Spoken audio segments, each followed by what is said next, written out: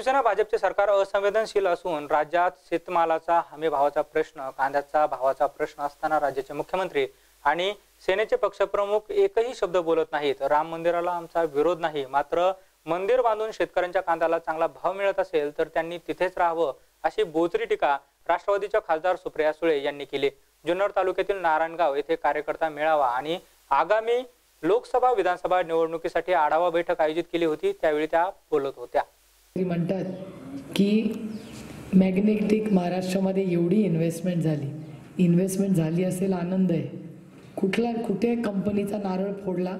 Company बंद झाल्याची list मला माहिती आहे. जी एस टीमुळे आणि नोटबंदीमुळे पण नवीन कंपनी आलेली मला तरी माहिती नाही. तुमच्या भागात आली असेल तर मला सांगा. किंवा नोकऱ्या झाल्या असतील तर सांगा.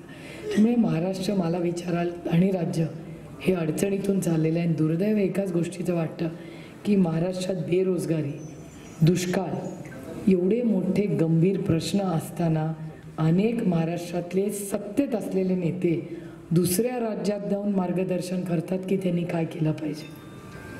जरूर दुसऱ्याला मार्गदर्शन करा. तुम्ही मला मार्गदर्शन करू शकता की सुप्रिया सुळे तुमच्या मतदारसंघात हे नाही आहे हे करून घ्या.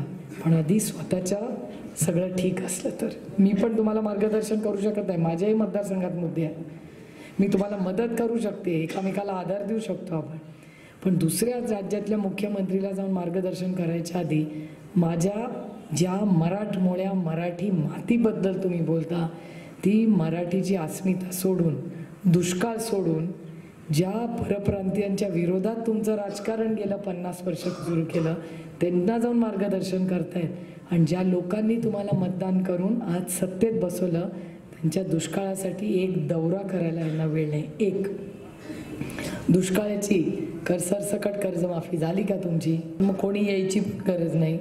ते हेलिकॉप्टरच्या धुराळ्यात पण मतं जातात. आणि हे दुर्दैव आहे की या संपूर्ण भागात ज्याला राष्ट्रवादी काँग्रेस पक्षाचा बालकिल्ला म्हणतो त्या बालकिल्ल्यात फक्त आपापसातल्या अंतरामुळे खरं तर आपली पडझड होते.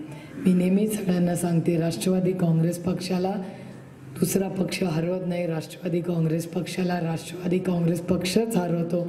हे आपलं दुर्दैव